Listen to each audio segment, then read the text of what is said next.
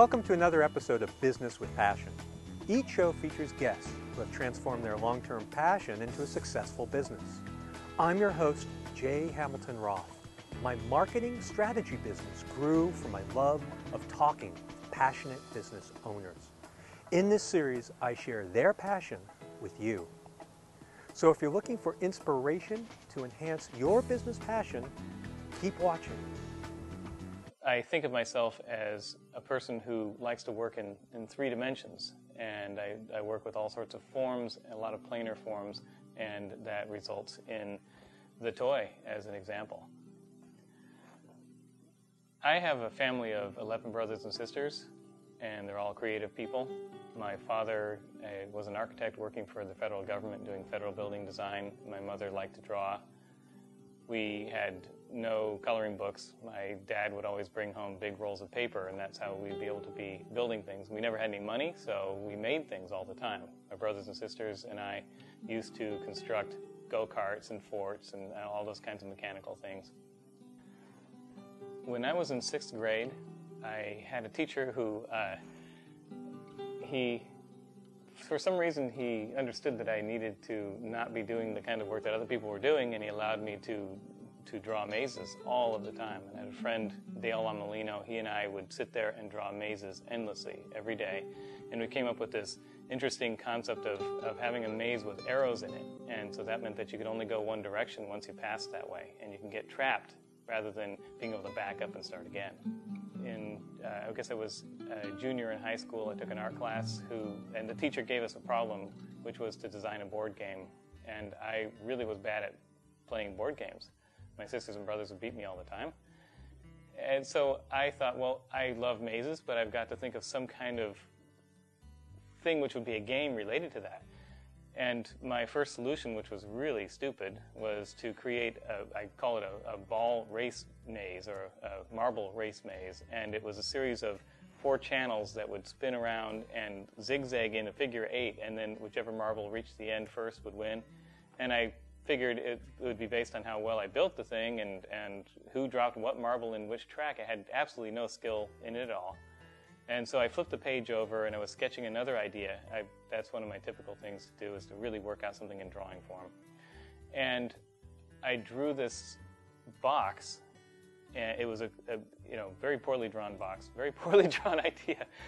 And it was, though, the precursor to this idea of making a, a, a three dimensional maze. I used to play with this game called Labyrinth, and it's a little maze ball thing. You turn these two knobs, and it tilts the plate around, and the ball rolls around.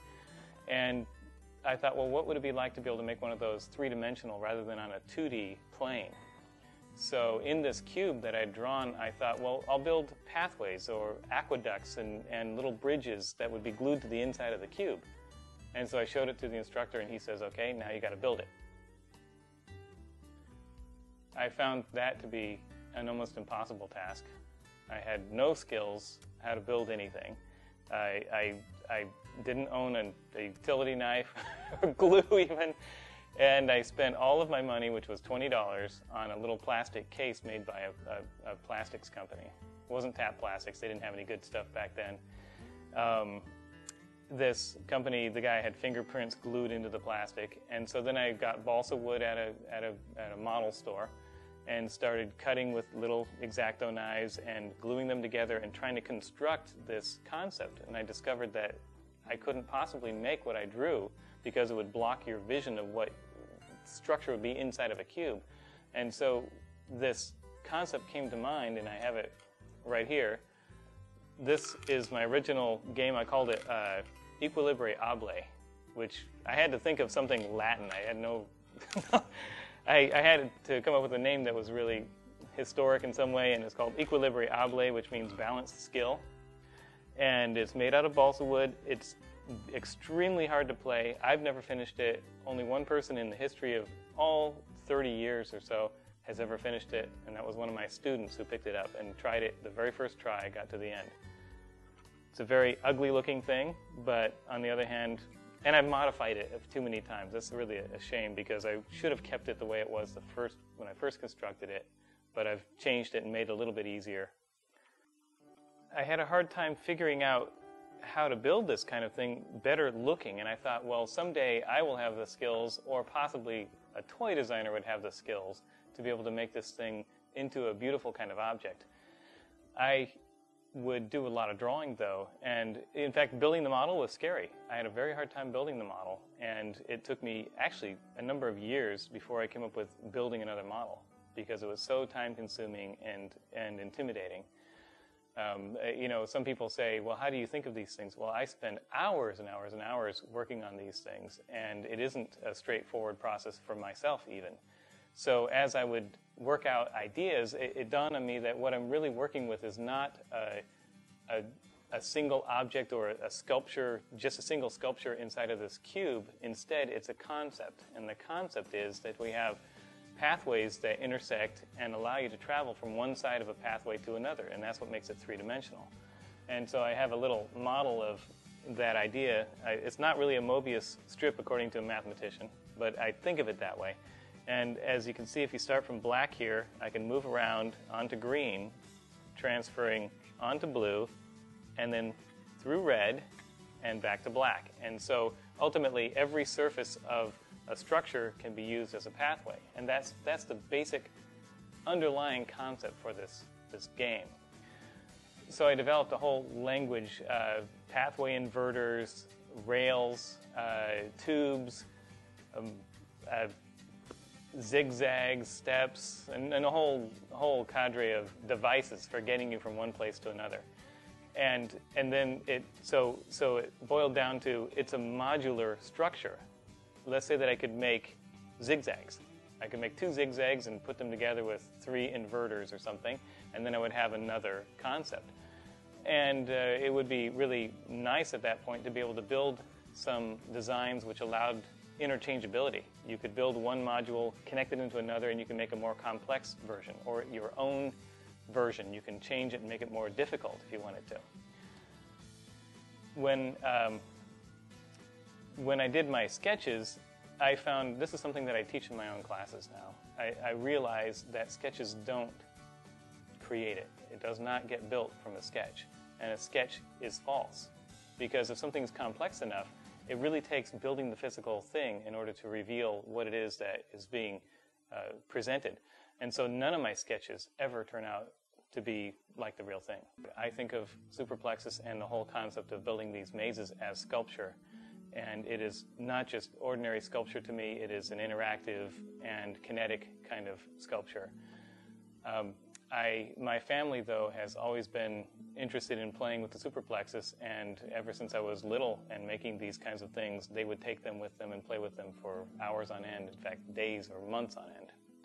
It wasn't until I was actually in college that I really developed skills with tools although I had a, a, complete understanding of them, and I, I, tend to have an understanding of three-dimensional form, and I could look at a part of something and know what it goes to, and and uh, but it, w- it took a long time to develop hand-eye coordination skills, which is what I actually relate this concept to. It's really a, a, my original concept for the over the edge game was that it was for developing hand-eye coordination for children. I don't know why I had to have some lofty reason for making it. It could have just been a fun game when uh, I, I would say that somehow I was given the opportunity when I went to college to use shop equipment and take care of the shop. And it was my friend John Watrous, who was my instructor at the time. He somehow saw in me the ability to, to understand the physical form, and so he gave me you know, uh, he said, here's a shop, it's brand new, can you put all the equipment together? I learned how to use a bandsaw by taking it apart and putting it together. I learned how to use a table saw correctly from the same reasoning. Uh, that's my method of learning how to do something is to physically do it in some way. I can't read instructions very well, and in fact, I, it took a long time to discover this. Was when I was building one of my plastic versions of the little superplexus that I, I, was my eye was starting to bother me and I went to an eye doctor and she said, well, she did all these tests and she says, well, you know, you don't have any real good depth perception. You can't really see three-dimensional forms very well. And I had already gotten a degree in sculpture and been teaching at the junior college for, I don't know, 10 years when I discovered that I've never really had spatial skills. And I can see it now that I'm in my 40s. I can tell much more easily that it's difficult for me to see my finger in stereo or to see anything in stereo. So her, her vision was that I probably overcompensated with my processing abilities, and I would think of things in a different way and try to understand form from a more intellectual point of view rather than just to simply see it. I was in an art class, one of my uh, digital art classes, and I had a student in there. My students know a lot. And that's one of the things I learn a lot from my students. They learn a lot from me. It's an exchange.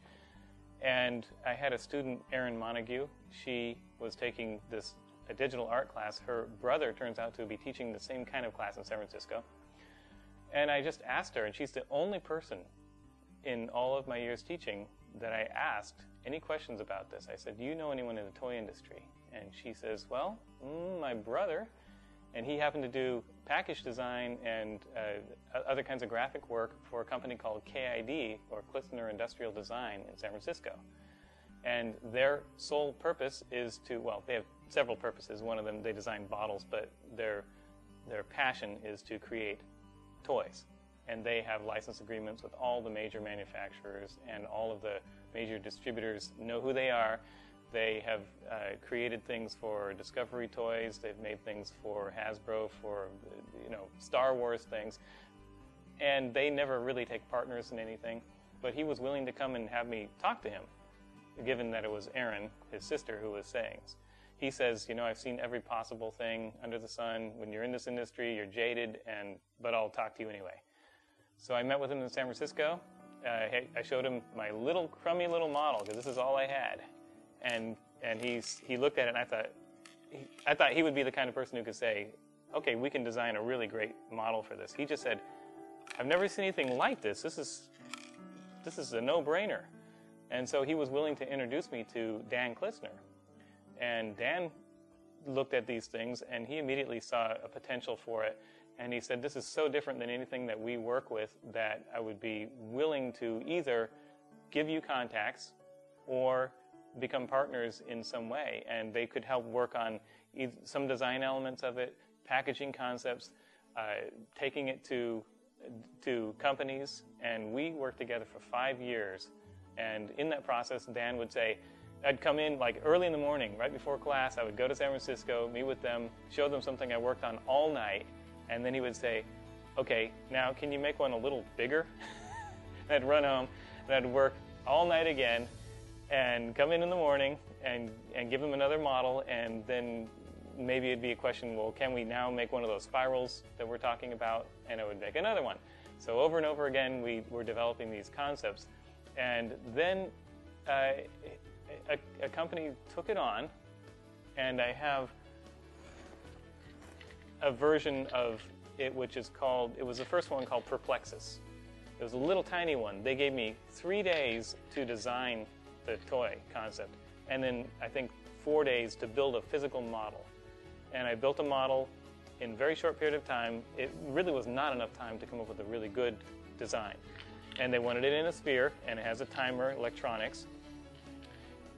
And they made a TV commercial. They did all of this marketing. They they put it into uh, the toy fair in uh, the uh, the New York Toy Fair, and I flew there, and they went belly up. The company failed, and it was a long story into how that happened. It was an unfortunate thing. The person who was in charge of it was a, a, a man named Stuart Sims. He was the person who brought Rubik's Cube to the United States way early on, and he really had this idea that this could be a Rubik's Cube thing, phenomenon. And so unfortunately, that got buried. We had to start all over again. And at that point, Dan and I were thinking, well, you know, what's the we've we've lost this now, so what could I do differently? And we were talking about what if one was made a little larger and it could be called the superplexus as opposed to the perplexus. And so this was during the recount for Al Gore. And I was working on this even during Thanksgiving. I brought all my tools to my sister's house and set up a little shop at their place because I had to get this done. This represents 100 hours of construction. It's an extremely complex maze that I've never finished. No one's ever come to the end of it. But when I showed it to Dan and his people, he just said, you know, this is the way to go. We need a large version of, like this. This is made out of styrene plastic. It was the way that I constructed is to take a little jeweler saw and to cut out the pieces and glue them together with crazy glue or with a styrene glue and hold each piece. And it's springy on the inside. There are moving elements. It's got all these different little circus kind of features to it. And yet it's totally not manufacturable. It's way too complex. Here is the finished version of Superplexus. It has uh, numbers 1 through 100. My intention was to have the numbers marked with color printed on, silk screened on, so that you could see all of the numbers, but they were embossed instead in order to save money because you know you, you do the tooling one time and then all the numbers are there. But to set up every piece with a silk screen adds to the cost. My intention also was to have it look white or at least in very bright colors because it's difficult to see some of the pathways. There's a shine, which is any kind of lighting that you have in the room reflects on it. It becomes a bright kind of uh, ball to, is difficult to see inside of. When I built them in cubes, that was never an issue because the cubes have a flat surface and once in a while they shine. Uh, so the colors, though, the colors that it became, this purple and the yellow and this bluish color, uh, is based on the Bop-it colors. KID, Dan Klitsner and his team invented Bop-it.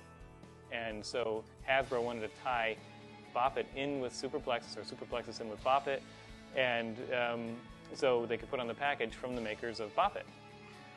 Well, the, there are a few other features of this that were kind of odd or interesting problems to try to solve. One is that you notice that it's, it's, a, it's a perfect circle from the front, but from the side it's an egg shape. Not really an egg, but it's a, it's, and it's not exactly an ellipse either, but it's a sad story, a sad tale I will show you something here. It's a, the package that was designed by Hasbro or by Tiger Electronics, and it was meant to be two on a shelf, on a 14 inch shelf. What happened was they showed it to Toys R Us, and Toys R Us said they get a, you know, they're so large, they get a preview of what these things will be, and they said we won't carry it unless we can fit two on a shelf. And so uh, I immediately designed a package which would work, two on a shelf. If it was made in a triangular form, instead of being square as it is, if it was triangular, you could nest them and they come out to exactly 14 inches. But that wasn't the way it was going to be. It was going to be killed or we have to do something. So one of the people in an email exchange says, cut it flat. Just cut the sphere off flat and then it can sit on a table and it won't be a problem. And I argued and argued about that, did some drawings. These are the overnight kinds of things, you know, with Hong Kong. And came up with a, a curve which would not allow it to be distorted, but would also, you know, still make it clear, but it would also then be narrow enough to fit two on a shelf. I've never been happy with that design. When it's in a perfect sphere, it just feels better in your hands. Somebody created a superplexus site on Wikipedia it says not a retail success. And I assume that is that's true if you are thinking of selling millions of something. This sold somewhere I I can only have an estimate because I get these royalty checks and on there is a little number and then they add it and subtract and do all these things, but somewhere around 750,000 units have sold worldwide. But for Hasbro that's not enough. Not even close to enough. That's over a 3 or 4 year time span they want to be selling several hundred thousand per year in order to maintain this kind of, I think it's 350 or 400,000 or something. Uh, a smaller toy company would be happy with 20,000 or 50,000 units. So as far as whether or not it's considered successful, the success for me is that I've created it and that people love to play with it. I get emails every day from somewhere in the world. It's sold in Germany, it's sold all throughout Europe. Uh, the UK was a very big deal at one point. It was in the top 10 Christmas toys for 2002, uh, along with playing cards and, and Twister and Monopoly, things like that. I have an interest in producing handmade little models, things that I could use uh, or, or have as art pieces, like handmade individual little sculptural pieces that are complex for, for collectors. An interest in making ones which can be mass produced so that the average person can get a hold of these things as well. But if I could really have it in, in my uh, wildest dream version, is that people would be having, they belong to the Superplexus of the Month Club. And so they would receive one that's a simple, a simple version that's a small handheld version, and then a limited edition would be produced, and they would get another one every month. They get another one, and uh, maybe at the end they'd also get a bag of popcorn or something to go with it. Uh, and then have competitions too, where people get to play these things for time, or for like, let's say they played one-handed, or other kinds of those fun competitions. I think my number one supporter is my wife. She has 100% backed up anything that I do. We'd have no money, and she'd say, You need to go to New York for the toy fair. and I'd have $300. That's our maximum we could spend. I'd get a plane and stay with a friend, and, and she would say, Do it. My first attempt at building a large scale superplexus called Giant Superplexus is this piece. I have a preliminary name for it called Superplexus Circles because it has just so many circular elements in it. Uh, it was built primarily for the Maker Faire, which was going on in San Mateo, and I was asked by the editors of, of Make Magazine to be involved with telling the story of my superplexus. But I thought, well, why not give me the opportunity now to create a large scale version? So uh, it started out as this planar. I, it, believe me, this is not an easy thing to create. I've, I've been asked at the Maker Faire to give people plans for how to build one of these. And I was saying, I, I don't have any plans. And they said, well, didn't you draw it in CAD? And I said, no. You mean, well, how did you make it then? I said, I made it by hand. And, well, how did you interconnect all the elements? I said, there were no elements interconnected at all. I had to start from somewhere. So I did a little sketch, probably a few tiny little circular shapes, and realized I can't sketch what this concept has to be. I have to build it. So I went, uh, this is the reason it's four feet in diameter. The interior structure is four feet in diameter. By the time it builds the outer rings, it's somewhere around five and a half feet. But the reason that it's a four foot diameter is because that's the size, the biggest foam core I could buy. I didn't, I wanted to have a structural plane going through it. So if you see this black ring going around, there is one complete sheet in there that has as many perforations, as many holes as it could possibly put into it, yet maintain some structural integrity and then, uh, and pathways. And so I would then, in order to create the next step, I would have to take a large piece of foam core, cut out into the same circular diameter, the four foot diameter, and interconnect those elements and figure out how they would join and where it might go and where to cut out and remove material because it's not as it's not it's not pre-planned. The only pre-planning I had was that I knew I wanted intersecting elements and then to begin constructing individual little obstacles or, or challenges that could be plugged into various areas. But every piece had to be cut and fitted to another. One thing I know is that people love to play with superplexes. Everywhere I go, I, I show these things and I'm mobbed by people wanting to play. There's never been an issue in my mind that it would be successful. The issue really is how do I get it to somebody and, and do they have the money to pay for it, sadly. Uh, you know, because if I had my choice and I didn't have to, to make a living, this would be something where I would be giving these away. I'd have them in hospitals. I'd have them in airports where people are waiting endless hours to get on a flight. I'd have them in malls where kids could spend some time, you know, their parents are shopping and the kids could play with this. Although I've received many different uh, uh, conceptual offers in producing giant superplexes, I've been working on one which is actual commission. It's, uh, as you can see, this huge sphere here. It's actually small in comparison to my large foam core model, but it's the largest one that I could practically produce given uh, the budget. It is uh, a 36 inch diameter. It's going to be built with a gimbal structure, similar to the, the wooden one which I was showing a little earlier. It has uh, the, the ball inside of it, essentially, when it falls off, you have to start over again.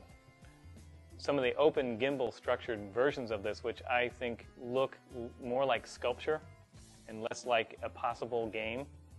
Those ones allow you to replace the ball back onto the pathway somewhere, but this one will not allow you to do that. This is being done for a man who is a, a puzzle enthusiast. He's very much into the world of uh, puzzles. Uh, there's a club that he belongs to. I think it's called the International Puzzle Party. I might be wrong there. And uh, he had asked me to be involved in a show which will be happening. It's going to be a puzzle as art show.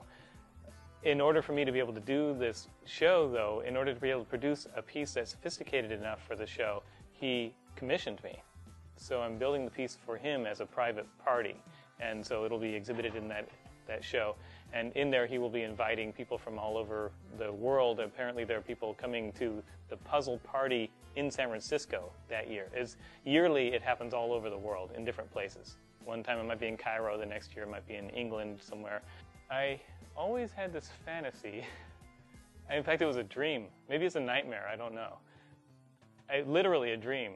I woke up one morning going, wow, because I felt like, and it was in Japan, for some reason they built a full scale, life size superplexus and you ran around inside of it. And there were slides and things in there, but you couldn't get hurt. But if I if I could ever build such a crazy idea that you could actually be inside of one of these things, that would be awesome. But in a more practical sense, I think I, I would love to see one of these things in a, in a museum, Museum of Modern Art. I, I would love to see one of these in the Getty. Thanks for watching this episode of Business with Passion. If you'd like more information about Michael McGinnis, other shows, or to be a guest on a future show, go online to tv.manygoodideas.com.